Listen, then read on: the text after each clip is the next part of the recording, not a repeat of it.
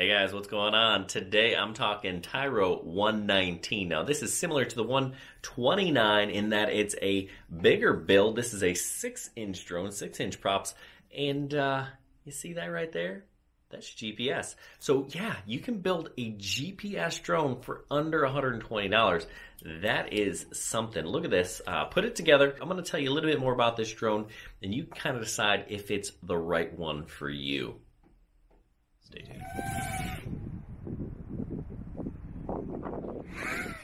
tuned.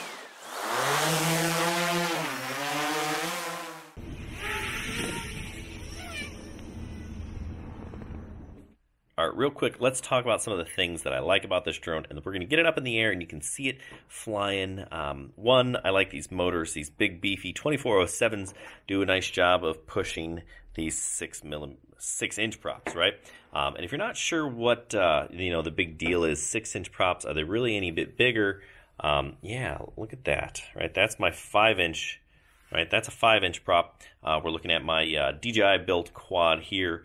Uh, but yeah, six inches definitely a little bit bigger. Uh, but really, kind of the the thing that sets this apart is really the low cost and that GPS unit on top. Now, um, a lot of people don't think that uh, FPV drones and GPS go together. Well, they can, and it's not just like a return to home safety feature. It can be used for that, but you'll also be able to get important data from the drone that you couldn't otherwise. Things like, you know, more accurate position. Obviously, GPS does that, but also things like speed and you know other location important data. But uh, yeah, I like it. Let's get it out in the field, and you can see it in action. Okay, so we got the Tyro 119 up in the air, and as you can see, we got some snow on the ground. So I'm not really going to push it too much, but I want to point out a few things. Now, I'm starting out uh, here in angle mode, and it was just acting a little bit goofy. Usually I like to uh, start that way, uh, but you'll see as soon as I switch it into acro mode, it's just much easier to fly. Things get smoother. There we go. Flip the switch um, right there, and uh, now we're good, right? Uh, I think I just probably had to calibrate the gyro. Should have done that, but uh, didn't before I took off. Uh, you'll notice a couple of things that are different in the OSD now. I turned these features on in the upper right hand corner. You'll see that little arrow uh, and then uh, a number with, a, with an M, right? That's the distance and the direction from my takeoff point, right? My home point.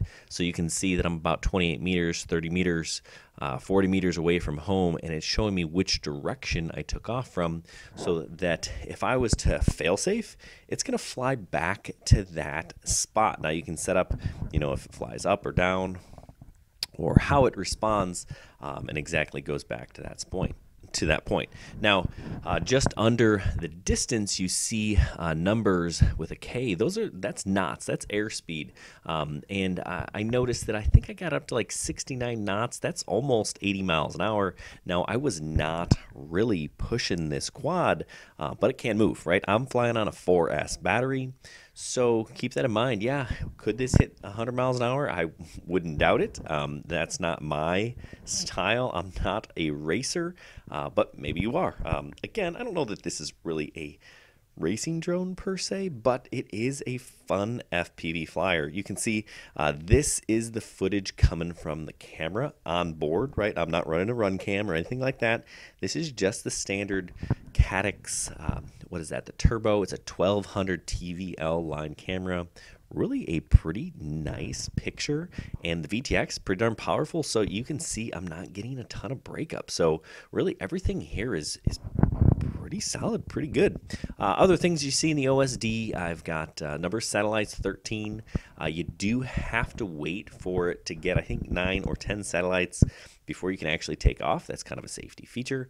Um, and then below that, you can see the RSSI. I'm using an XM Plus receiver, which, you know, that does the trick. Now, if I was really going to be serious about this quad, I'd probably put Crossfire or an RM9 on there. And, you know, I think this just really makes a nice long range quad, right? Just kind of take it and cruise. That's kind of what I'm doing here. These are mo- this is mostly a cruising flight. Now, yeah, I'm doing some flips and some rolls just because, well, it's fun and I want to make sure that it can do that. But uh, yeah, overall, I was quite pleased with how this thing performed. 120 bucks for a GPS drone.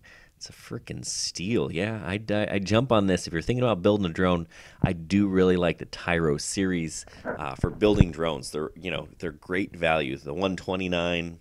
Uh, you know, I turned the 79 into a whoop. I wasn't a big fan of the uh, toothpick, the 69, although I believe they're coming out with a new toothpick. So, all right, so I'm going to do a really quick build tutorial and then uh, show you how to set it up in Betaflight. All right, step one putting this thing together is putting the bottom plate in place. The longest screws are going to go in the center. Um, then you've got the uh, lock nuts on the sides. Once you have that in place, you're going to go ahead and put your motors in. Don't put in all the screws. And then you're going to go ahead and put the standoffs in the center and throw your ESCs in place so that you can get ready to uh, solder. Now, you're just going to solder the end cap. Um, the uh, motor wires and the battery lead. Uh, make sure that you have the nuts in the right positions. You'll notice they're clockwise and counterclockwise. That's just the nuts. You can change everything in BL Heli if you need to in terms of motor direction. So if you don't set it up quite right, that's okay. So now I'm going to go ahead and pre-tin along the sides there where the motors are going and the motor wires. Um, you can see I've done that. Now I'm not a soldering expert. Um, but if you haven't soldered before, you're going to want to practice before you try this one. Then you can go ahead and uh, get all the connectors ready on the flight controller. They plug into place. That's what really makes this Tyro build, and all Tyro builds really pretty good. Now, you do have to solder here for your receiver. Uh, I soldered those two little pads there. It's kind of hard to see because I'm using an XM Plus. Uh, different receivers will solder differently. Now, I can go ahead and put the standoffs in to get my flight controller in place, and then I can go ahead and add my VTX on top of that. You're to add those little nuts.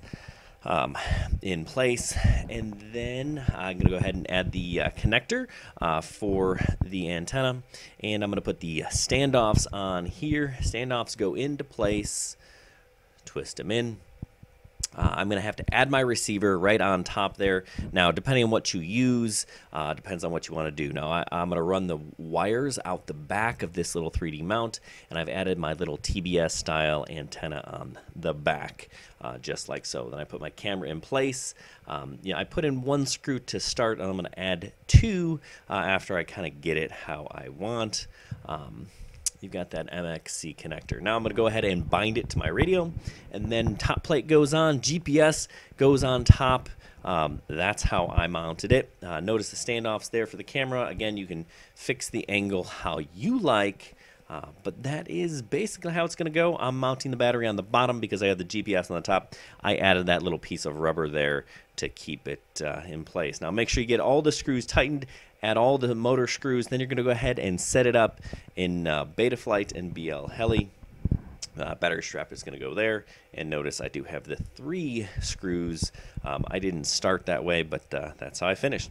Now you can see here I've got my DJI FPV quad uh, with my Good Venture motor uh, on there. And it is, gosh, I love this thing. Uh, I was just actually just flying it this morning, and uh, it's a lot of fun. But you'll have to wait for a uh, video to see that in action. Let's go ahead and check out Betaflight.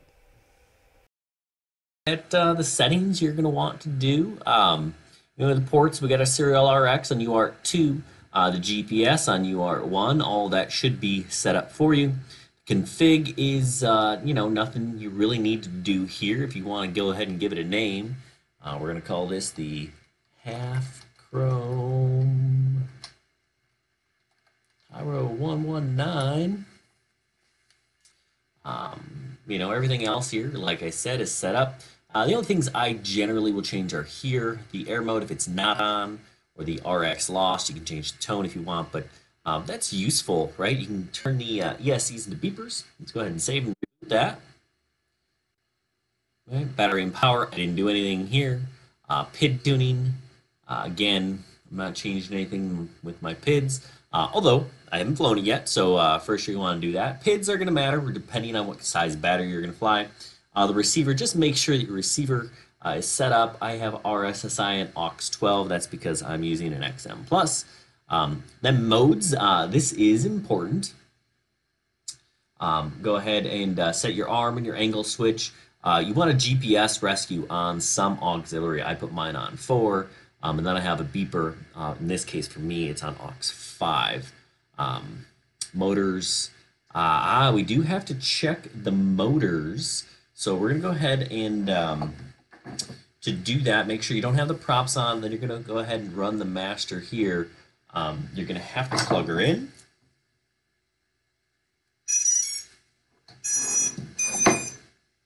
And then you can run the master here. You'll hear the motor spin up. And you can check that they're moving in the right direction. So as I check my motors, I have to fix motors one and two. They're moving in the wrong direction.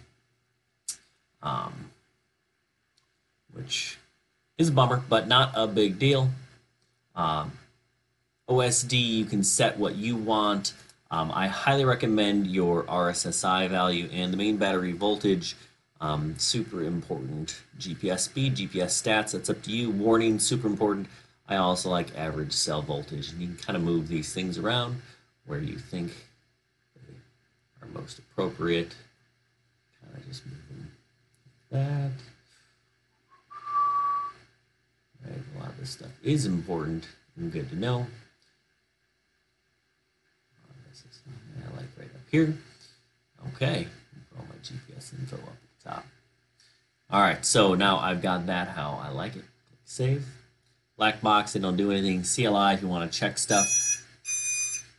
But this is important. You got to enable uh, expert mode. And go to the fail safe to. Uh, Got to go to this fail safe to turn the GPS on. Um, and right over here, uh, GPS rescue, you want to make sure that that's on and failsafe only. Save and reboot. All right, so I went ahead and uh, reversed my motors, motors that need to be reversed, and using the BL Heli configurator. I like this one; it's easy. Uh, plus, my uh, standard BL Heli 32 suite was uh, acting goofy, so uh, I try this one. You connect, you go ahead and read setup. Now my props are off. That is super important.